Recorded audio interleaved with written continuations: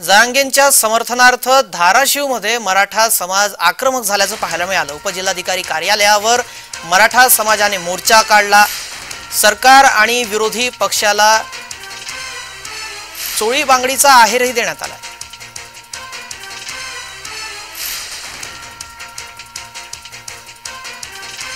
धाराशिवमध्ये मराठा समाज आक्रमक झाल्याचं पाहायला मिळालं. जरांगेंच्या समर्थनार्थ मोर्चा काढण्यात आला.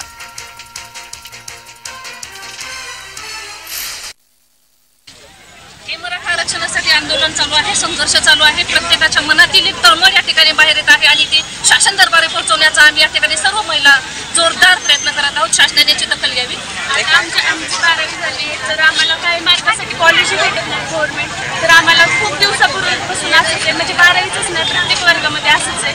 पण आम्हाला पाहिजे म्हणजे पाहिजेच आरक्षण. अंमलबजावणी शासनाने केलीच पाहिजे. तुमच्या रणरांग रागिनी सगळीकडच्याच आता अशाच मैदानात उतरणार आहेत.